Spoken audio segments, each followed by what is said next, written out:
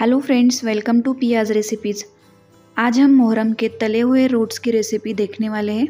ये रोट्स अंदर से एकदम सॉफ्ट खस्ता और बाहर से एकदम क्रिस्पी बनकर तैयार हो जाते हैं। तो चलिए शुरुआत करते हैं इसे बनाना।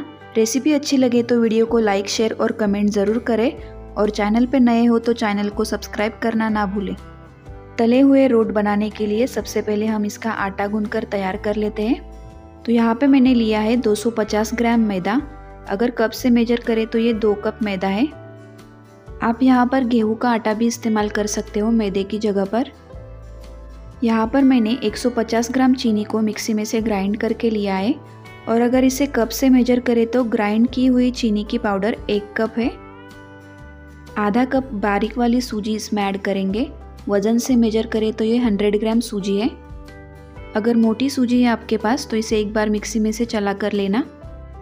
यहाँ पर मैंने 10 काजू और 10 बादाम को मिक्सी में से इस तरह से दरदरा ग्राइंड करके लिया है। इन्हें इसमें ऐड करेंगे। यहाँ पर मैंने सूखे नारियल को मिक्सी में से ग्राइंड करके लिया था। तो ग्राइंड किया हुआ सूखा नारियल आधा कप इसमें ऐड करेंगे। आप चाहे तो सूखे नारियल को कद्दूकस करके भी ले सकते हो। रोट में इसका टेस्ट बहुत अच्छा लगता है। तो इसे ज़रूर ऐड करना। दो चुटकी खाने वाला मीठा सोडा या बेकिंग सोडा इसमें ऐड करेंगे। और इसमें ऐड करेंगे एक चम्मच इलायची पाउडर। और अब इन सारी चीज़ों को अच्छे से मिक्स कर लेंगे। सारी चीज़ें अच्छे से मिक्स करने के बाद इसमें ऐड करेंगे वन फोर्थ कप घी। अगर वज़न से मेजर करें तो ये 50 ग्राम घी है। और यहाँ पे घी हमें नॉर्मल टेम्परेचर वाला लेना है। इसे मेल्ट करके नहीं लेना है। अगर घी को हमने मेल्ट करके लिया तो रोट बनने के बाद वो कड़क बनकर तैयार हो जाते हैं। इसलिए हमें इस तरह से नॉर्मल टेम्परेचर का घी लेना है। और अब घी को हमें इन सारी चीज़ों के साथ अच्छे से मिक्स करके लेना है। घी ऐड करने से रोट एकदम खस्ता बनकर तैयार हो जाते हैं। तो यहाँ पर मैंने सारी चीज़ों के साथ घी को अच्छे से मिक्स करके लिया है। इस मिश्रण को हम हाथ में लेंगे, इसकी अच्छे से मुट्ठी बंध रही है। इसका मतलब जो हमने घी का मेज़रमेंट लिया था वो एकदम परफेक्ट है। यहाँ पर मैंने आधा कप रूम टेम्परेचर वाला दूध लिया है और इसमें ऐड करेंगे थोड़ी सी हल्दी पाउडर आप इसकी जगह पर येलो फ़ूड कलर भी ऐड कर सकते हो। और इस हल्दी को हम दूध में अच्छे से मिक्स कर लेंगे। रोट फ्राई करने के बाद ऊपर से गोल्डन ब्राउन कलर तो आ जाता है।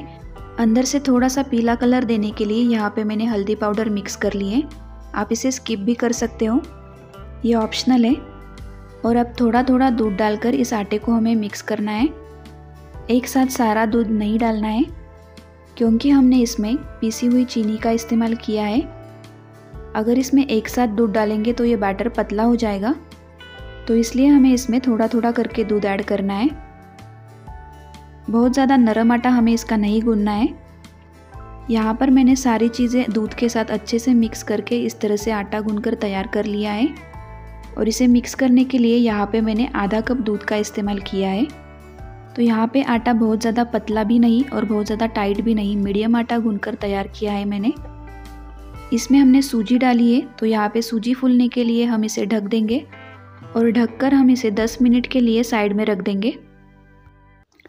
10 मिनट के बाद हम आटा चेक कर लेते हैं एक बार।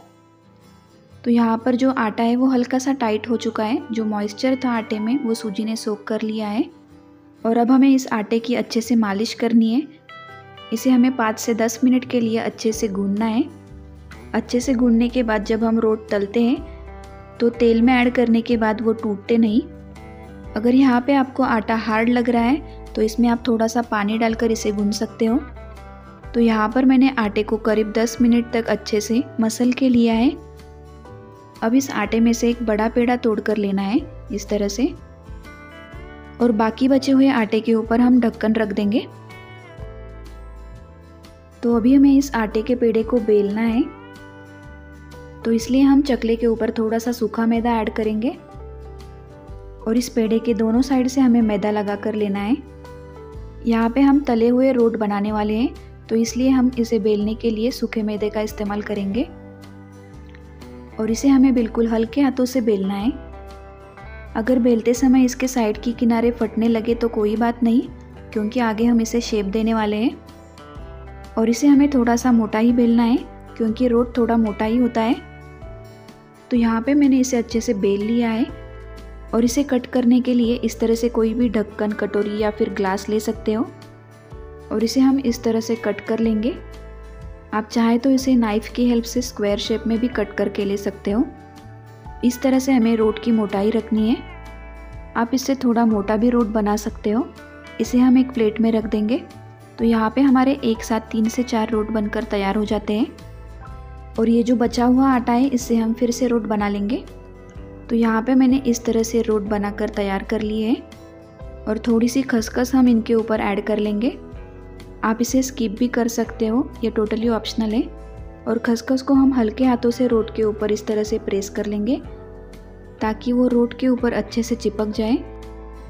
तो यहाँ पे ये हमारे रोट बनकर तैयार है। अब हम इन्हें फ्राई कर लेते हैं। रोट फ्राई करने के लिए गैस पर मैंने तेल को गर्म होने के लिए रख दिया है। तेल को हमें ज़्यादा गर्म नहीं करना है। तेल मीडियम गर्म होने के बाद इसमें हम एक एक रोट ऐड कर लेंगे। तो यहाँ पर आप ये बबल्स देख सकते हो। हमें तेल को ज़्यादा गर्म नहीं करना है और इन्हें हमें मीडियम फ्लेम पे फ्राई करके लेना है। यहाँ पे अगर हम रोट को लो फ्लेम पे फ्राई करते हैं तो वो तलते समय टूट जाते हैं। और अगर हाई फ्लेम पे फ्राई करेंगे तो वो ऊपर से जल्दी जल जाते हैं। तो इसलिए हमें इन्हें मीडियम फ्लेम पे फ्राई करके लेना है। 10 सेकेंड्स के बाद इन्हें हम पलटी कर लेंगे और दूसरी साइड से फ्राई होने देंगे। यहाँ पे रोट दोनों साइड से अच्छे से फ्राई हो चुके हैं। और इनके ऊपर अच्छा सा गोल्डन ब्राउन कलर भी आ चुका है। अब हम इन्हें निकाल लेंगे और इन्हें हमें इस तरह से फोर्क से दबाना है। और जो भी एक्स्ट्रा का तेल है, हम इस तरह से निकाल लेंगे। और इसी तरह से हम बाकी के रोड भी फ्राई कर लेंगे। तो यहाँ पे हमारे ये मोहरम स्पेशल तले हुए रोड बनकर तैयार है।